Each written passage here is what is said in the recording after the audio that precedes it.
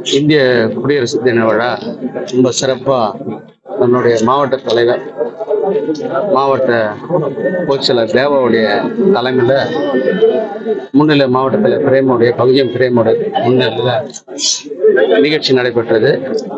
இந்த நிகழ்ச்சியில் சாவித்ரிபாய் இரவு பாடசாலை திறக்கப்பட்டது. பொதுக்கூட்டம் நடந்தது. ஒரு வருத்தமான விஷயம். பாபாஸ் அம்பேத்கர் அந்த கட்டட சொந்த நிலம் பட்டா நிலம் அந்த நிலத்துல அந்த கட்டடத்துல பாபா அம்பேத்கருடைய சிலை இருக்குது. அந்த சிலை வந்து அனுமதி இல்லைன்னு சொல்லிட்டு திறக்க காவல்துறை அவங்களோட கோரிக்கை சொன்னாங்க. அந்த கோரிக்கை என்னமோ அதை ஏத்துக்கிற ஏத்துக்க வேண்டிய கோரிக்கை வந்தது ஏன்னா வந்து சொந்த இடத்துல நில நிலத்துல சிலை வைக்கலாம். நீதிமன்றம்லாம் உத்தரவு இருக்கு. என்னன்னா ஒரு அண்டர்டேக்கிங் ஒரு கடிதம் வந்து மாநகராட்சி கொடுக்கணும் ரெவென்யூ கொடுக்கணும் காவல்துறை கொடுக்கணும். அந்த ரெவென்யூ அந்த அண்டர்டேக்கிங் வந்து ஒரு அஃபிடேவிட்டாக இருக்கணும். அது கொடுக்கலன்றதால நானே வந்து அந்த சிலையை திறக்கல. அதை வந்து சிலையை வந்து திங்கக்கிழமை அந்த அண்டர்டேக்கிங் ஒரு அஃபிடேவிட் ஒன்று கொடுத்த பிறகு சிலையை திறக்கலான்னு இருக்கிறோம். பகுஜன் சமாஜ் கட்சி வர தேர்தலில் தனித்து போட்டினாங்க. அதை வந்து இந்தியா முழுக்க இது ஆரம்பத்திலேருந்து நம்மளுடைய கட்சியுடைய தேசிய தலைவருடைய ஸ்டாண்ட் அது. மத சார்பட்ட ஒரு ஆட்சி அங்க நடந்ததுன்னா அது பகுஜன் சமாஜ் கட்சி மட்டும்தான். தமிழ்நாட்டிலே நாற்பது தொகுதி தனித்து போட்டியிடுறோம். நாற்பது தொகுதிக்கு வேண்டிய வேலை திட்டங்களை வேலையை செய்து இருக்கிறோம்.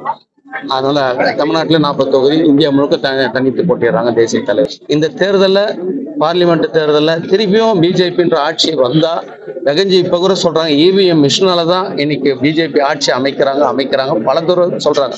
பேசுற எதிர்கட்சி எதிர்க்கட்சி இருக்கு ஆட்சி மாற்றம் ஏற்படணும். பேலட் வந்தால் தான் ஆட்சி மாற்றம் ஏற்படும் இவிஎம் இருக்கிற வரைக்கும் பிஜேபி தான் ஆட்சி செய்யும் அரசியல் ஒருத்தரை சார்ந்து இருக்கக்கூடிய அரசியலே கிடையாது. ஒரு திமுக கட்சி அதை சார்ந்து அரசியல் நடத்தணுமா? அது போல நடத்தக்கூடாது. ஒரு அண்ணா திமுக கட்சி சார்ந்து இருக்கக்கூடாது. ஒரு தனித்தன்மையோட நிக்கணும். இன்னைக்கு பகுஜன் சமாஜ் கட்சி தனித்து நிக்கிறதுனா இதுதான் கொள்கை. இதுல நீங்க போட்டியிட வாய்ப்பு இருக்கா? வேட்பாளர்? அது மேல தலைமை முடிவெடுப்போம். நான் போட்டிட்டா எல்லா நாற்பது தொகுதியில போய் எல்லா மாநில தலைவர் என்ற பொறுப்பு இருக்கிறதால நாற்பது தொகுதியில நான் வந்து நாற்பது தொகுதி வேட்பாளர் நிப்பாட்டுறதால நான் அங்கேயும் வேலை செய்யணும். தொகுதியில போட்டிட்டாலும் அதையும் வந்து போட்டிடணும் அதனால தலைமை வந்து முடிவு பண்ணுவோம். விஜய் வந்து மக்கள் இயக்கத்தை அரசியலாக பதிவு செய்யறதுக்கு முயற்சி பண்ணிருக்காங்க இந்த வருகை எப்படி பாக்குறீங்க தமிழக அரசியல் நம்ம அரசியலே இப்ப பார்க்கும்போது அரசியல் என்று சேவை செய்யறது. மக்கள் சேவை செய்யறது அரசியல். யாராவது மக்கள் கிட்ட பழகாத கொள்ளாதவங்க தான் இன்னைக்கு அரசியலுக்கு வராங்க. அது விஜய் இருந்தாலும் சரி யார் இருந்தாலும் சரி. ஒரு மக்களுடைய அடிப்படையான விஷயத்தை தெரிஞ்சுக்கணும். யார் விஜய் வந்தாலும் சரி சினிமாக்காரங்க யார் வந்தாலும் சரி பெரிய ஆபத்து இருக்கு இன்னைக்கு அரசியல். அப்ப மக்களுடைய அடிப்படை விஷயம் யார் இருந்தாலும் தெரிஞ்சுக்கிட்டோன்ற. தெரிஞ்சீங்கன்னா அவங்க வந்து அரசியலுக்கு வந்தாங்கன்னா கண்டிப்பா ஒரு ஆட்சி மாற்றம் ஏற்படும். விஜய் வந்து ஒரு பாக்குற ஒரு இருபத்தஞ்சு ஆண்டு முப்பது ஆண்டுமா சினிமா துறையில இருக்கிறார். அவர் உண்டு ஷூட்டிங் உண்டு அவர் வந்து சினிமா உண்டு நிறுத்துறாரு மக்கள்கிட்ட டிராவல் பண்ணல.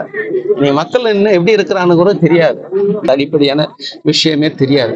இன்னைக்கு அப்படியா மட்டும் அரசியல் வந்தாங்கன்னா பெரிய ஆபத்துக்கு அதனால அடிப்படையான விஷயத்த தெரிஞ்சவங்க அரசியல் வந்தாங்கன்னா நல்லது நாட்டுக்கு நல்லது மக்களுக்கு நல்லது.